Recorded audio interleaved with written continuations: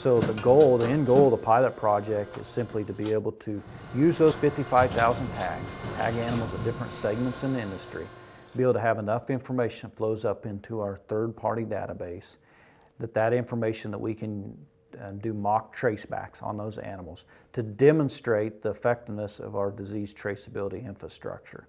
Again, with the long-term goal that this would be the foundation for a national ID system. So the technology is really phenomenal that we'll be able to see. So we have readers options where it's in an alleyway. The other option that we have is at the uh, restraining facility where we doctor, where if we have to doctor an animal that's sick or whatever, we have a reader that's located there. Um, the third option would be is we actually have a handheld reader and it'll just pick up all those tags. Probably the biggest benefit of our pilot project right now, Cattle Trace, is that we're building it on our terms, being proactive, industry driven, industry partners being involved. We have a seat at the table and we're going to build it that's going to work for us and, and be proactive and be able to do it ahead of a disease outbreak.